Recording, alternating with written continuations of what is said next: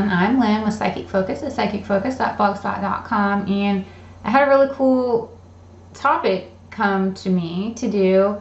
Uh, it was funny because I was talking to one of my friends about the, the land of Tartary or Great Tartaria, if I'm saying it correctly. Well, then I was looking at the blog and there was a question out there also centered around this. So synchronicity is telling me now is the time to look at this topic. So moving forward, the question is, Hi Lynn, could you please do a reading on the subject of Great Tar Tartia, um, or it's sometimes called Tartary, that's come up in true history community recently? It appears there was an empire as large as Rome, which most of us have never heard of before. Who were they, and why is the subject surfacing now? Is it true history or disinfo? And was there a mud flood within the last few hundred years? Thanks. And I put a link to a Wikipedia talking a little bit about Tartary I also put a YouTube video up, there, um, which also goes into more detail in case you're curious. I did watch a few minutes of it just to tune into the area, try to uh, get a brief um, maybe connection to what this is all about before I went into the reading itself. And so I did that and then opened myself up to see what things would come through. And when I did that, I got that the Tartarian Empire, it was huge. Um, it's not a myth, but it's being diminished as being um, great in history due to the type of land that it was. And I saw a lot of references to Atlantis. Now, not necessarily in the form of like free energy and crystals and that kind of thing, but it was very, uh, it was like the land of plenty, and people knew how to work off the land. They they focused on respecting the land, and they had a good relationship with Mother Gaia. They had this circular reference where if they took from the land, they gave back to the land. They knew how to work herbs. They healed. It was a very spiritual uh, location. And there were a lot of resources there on that land. And the overall philosophy of the land was very spiritual in nature. Uh, like I had mentioned, they worked on healing. They adopted many natural things into their lives. They were very grounded and very embracing of their environment, Mother Gaia. I would describe them as somewhat pagan, but they had a very spiritual undertone to them. Uh, at least that was the way that it came through to me. They, it wasn't exactly the word pagan, but it had this very earthy vibe, um, but a very spiritual undertone with it as well. So if you could couple the two of those, that's how I would describe the people of this area and the land itself.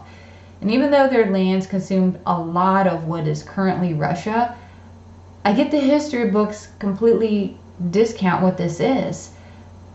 And part of it is okay, so you have this land, and outside countries are jealous of it because it is the land of plenty, and people are happy, they're healthy, they're working the land, they work together, they have great teamwork, all these kind of things. So sometimes people on the outside, when they see that, they want to come and take it. And I get that that's exactly what happened. You have this great, beautiful empire. So people want to come in and they want to take what is there and what is established. So I do get that, you know, Russia or those areas outlying the, the Tartarian Empire, they went in and they conquered them and basically wanted to steal what they had. But what they didn't expect is the people that work on the land, the people that live there, they wouldn't give up their secrets. They were very loyal to what they had, and they weren't going to just give it to someone else who could use it for ill will or use it to, you know, maybe enslave people or do cruelty. They they were not going to allow that to happen. So they stayed very true to who they were, and so. You know, this land gets conquered, and they basically wipe it out of history like it didn't even happen because of this rivalry, jealousy thing. And the winners ultimately do write the history books, and that's what happened, and that's how a lot of that truth and that knowledge got lost. And I get that when this battle happened, a lot of the people that lived in Tartary, they fled to China and the southeastern areas of Asia. A few remain, but most of them tried to escape. But like I said, the ones that did stay, they were very loyal and they didn't give up their knowledge and they didn't give up um, the secrets to what made the Tartarian Empire so great because they did not want to see something negative happen from something that was so beautiful. I do get there was a mud flood and the land was taken over by buildings, um, sacred locations, and even people that were loyal and stood guard. And it it feels like it was largely a component of volcanic ash. So I'm not sure what volcanoes are around there or how all of that played out, but it's almost like you have this volcanic eruption and then when rain mixed with it, it just created some kind of mud. Um, so if they were to test that area, I get that they would discover that it's really a, some kind of volcanic ash more so than mud, if that's something that you can even test. And I do get that this happened within the past few hundred years. Um, and the real injustice that I saw about this whole thing was the alteration of history, not giving truth to this land, and the real motives for why it was taken over and why people came in and, and, and basically tried to gobble up this empire and claim it for themselves. And that's all I have for this reading. It was a really cool topic.